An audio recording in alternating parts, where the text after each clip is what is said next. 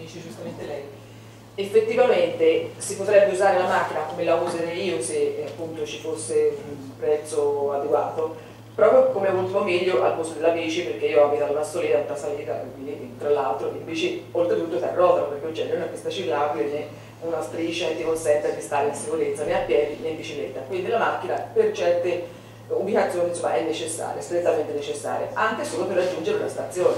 Un conto è fare chilometri per andare a prendere il treno, è farne poi 15 o 20 per andare a Firenze. Quindi eh, è tutto vero, però è, come ha giustamente detto il professore, eh, manca un'alternativa. La mia compagna di banco del liceo ora vive a Londra da 30 anni, lei la macchina l'ha venduta dopo due anni, perché non sapeva farne, perché io anche la notte se devo andare a teatro prendo la metropolitana e comunque abita in una zona periferica, ma comunque è servita.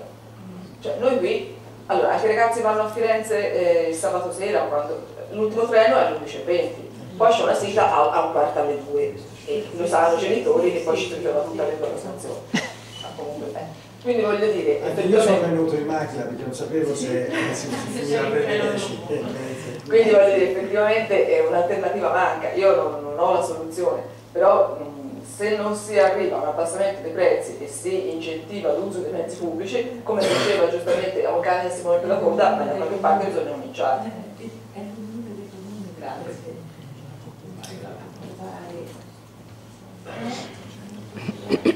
Grazie.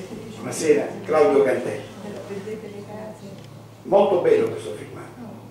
Complimenti all'associazione che ha prodotto il filmato, alla regia professore, perché a Copenaghen non avviene quello che avviene da noi? Lei ha perfettamente ragione, caro professore, perché a Copenaghen non hanno avuto una persona che si chiamava Giovanni Agnelli, che eh, noi abbiamo fatto la politica tutto su gomma e quindi abbiamo dovuto accontentare questa famiglia che era bisognosa e abbiamo fatto tante altre.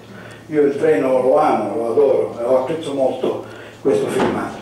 La ferrovia è una cosa molto interessante, è come un'infrastruttura bipolare. Perché? Perché unisce ma divide nello stesso tempo anche la strada, anche l'autostrada. La ferrovia in maniera più incisiva demarca di più, in maniera più forte. È vero, eh, unisce due città, eh, ma tante volte separa il territorio. Immaginate che cosa è successo eh, nell'Italia del sud, in Calabria. Hanno fatto questa ferrovia che divide il mare e la spiaggia da tutti i paesi. Quindi è un elemento territoriale che diventa anche un elemento urbano forte, molto forte. Per esempio, Pontassieve è divisa in due. Sì. Sì. È divisa in due, cioè ci sono due Pontassieve che non si parlano. Ma questo filmato mi piace molto perché, anzi forse bisognerebbe farne di più, dovrebbe essere più, più, più una serie. Una serie, una serie. Propongo di fare una serie televisiva eh, su, sulla ferrovia, su, sui treni, su tutto quello che accade, sugli amori che si sviluppano. Eh, come anziché lo, Love Boat, eh, Love Train, insomma, questo mi sembra una buona idea anche per l'associazione magari potrebbe guadagnare qualcosa con questo perché questi qua sono tutti a rimessa. Eh, perché le, le, le, associazioni come quella della signora e non sono a scopo di lucro sono soltanto a scopo di rimessa ma ci vogliono perché è importante. Allora che cosa ci dice anche questo filmato? Che cos'è questa strada ferrata? È una linea di demarcazione del territorio. Allora però è così invasiva che noi quando facciamo eh, gli strumenti urbanistici, i piani regolatori, oggi li chiamano, eh, non so come, piani strutturali, no? piani regolatori, dove si dice dove si può costruire e dove non si può costruire. Un po' come gli inceneritori che li chiamano termovalorizzatori, ma sono dove bruciano la spazzatura, ingeneritore si chiama. E... Cosa ci insegna questo? Ci insegna una cosa importante, anzi importantissima. Noi adesso, quando guardiamo la città e il territorio, dobbiamo guardare la ferrovia, la strada ferrata in maniera più seria, in maniera da coglierne più i significati.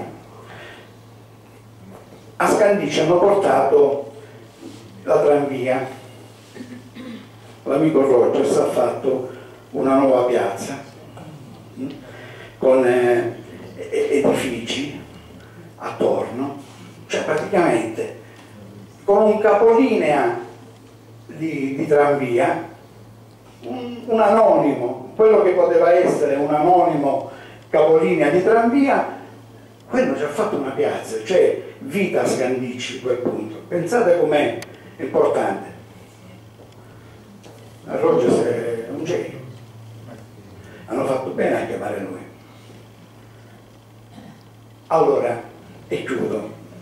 Quando noi andiamo sul treno e attraversiamo il territorio e le città, quelle parti di città, forse dovremmo guardare bene le aree che ci stanno attorno, perché forse quelle aree sono delle grandi risorse e noi le potremmo sfruttare e usare molto più facilmente perché già da lì ci passa il treno.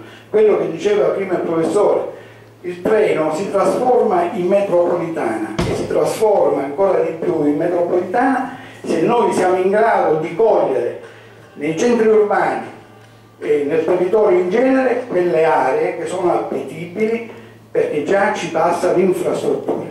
Quindi ringrazio questo filmato perché mi ha dato l'occasione per ricordare una cosa molto importante su cui io sto facendo studi da tanti anni e pensiamo che questo sia un po' il futuro anche delle città. Grazie.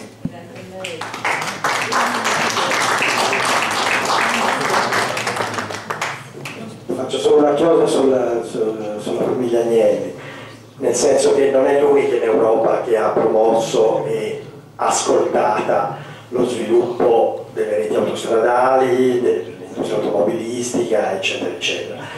Va detto che quando questo è avvenuto il consenso sociale era altissimo, eh? quindi ora... La cosa che colpisce è che cambiando, uh, uh, come dire, eh, le forme di economia, cambiando i modelli culturali di riferimento, eccetera, eh, altri paesi che come l'Italia avevano puntato tutto sull'automobile, compresa la Francia, la Germania, la Spagna, eccetera, e progressivamente hanno riaggiustato il tiro. Il risultato è che noi adesso in Italia abbiamo ancora questo predominio dell'automobile su tutto e abbiamo perso l'industria automobilistica. La Germania ha un tasso di motorizzazione molto più basso, mezzi pubblici molto più efficienti e ha tenuto l'industria automobilistica. Quindi vuol dire che ci sono anche delle strategie industriali, delle strategie politiche per cui in quel caso la Francia dagli anni 80 ha capito che bisognava cambiare registro e ha cominciato a reinventarsi la tranvia. E adesso in tutto il mondo o, o, o le tranvie, come la, quella di Firenze che è gestita dalla società francese parigina, o i componenti o i sistemi sono francesi. E quindi loro hanno inventato quindi hanno creato un modello di sviluppo basato su questo mezzo ecologico. Eccetera. Quindi bisogna essere dire, anticipatori dei tempi e bisogna sapere sfruttare le opportunità. È chiaro che se si vive dire, di, eh, su modelli superati, eh, poi dire, eh, restiamo in qualche modo eh, e bastonati. Eh.